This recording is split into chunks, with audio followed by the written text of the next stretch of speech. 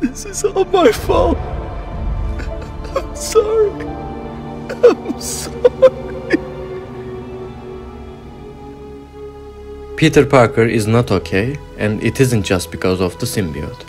His guilt, feeling of not being enough, and weight of all his responsibilities is on another level in Spider-Man 2. He feels like a failure, he isn't acting like what happened in the first game happens every day. All those tragedies and losing Aunt May are affecting him.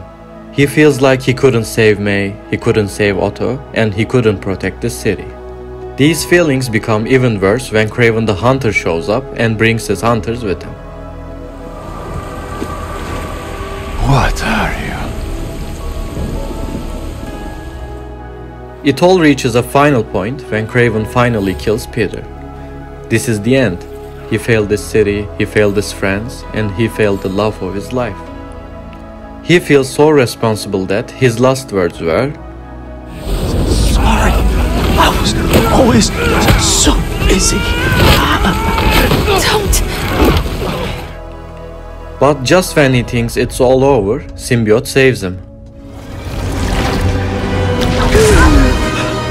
What happened? It makes him more powerful, and after all that desperation and self doubt, Symbiote makes him feel like he is finally enough. It takes advantage of Peter's insecurities and slowly poisons him. We keep hearing Peter saying things like, I need this suit. It makes me a better Spider-Man. You just want it for yourself. I can't let this go. I'm finally everything everyone needs me to be. We need to call Oscorp. We need to destroy it. Destroy us?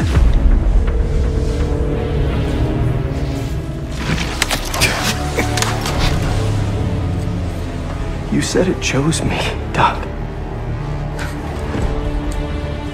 It makes me a better Spider-Man.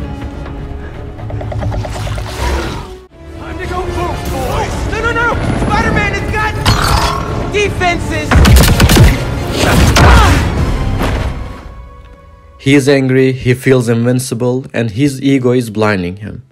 Suit makes him reckless because he feels undefeatable when he wears it.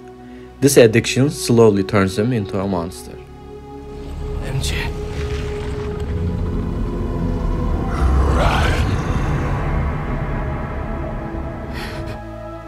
Seeing Mary Jane's article about him being dangerous doesn't help too. Good job, MJ. Provoking Peter even more and betraying him is the right thing to do when he needs help the most. I saw your story. I tried to tell you about that. Yeah, but you didn't, did you? I can't lose this job. Your job is to write the truth. I did. The truth is, I'm the hero here, not you. Anyway, Peter is finally ready to move on after ripping that suit off and remembering May's death wasn't his fault and he did the right thing by helping others, just like she wanted. In the end, we see him rebuilding his life and taking some time off from Spider-Man to fix his life as Peter Parker and maybe come back as a better Spider-Man in the future. Relax and be a good proton. Huh? Stay positive.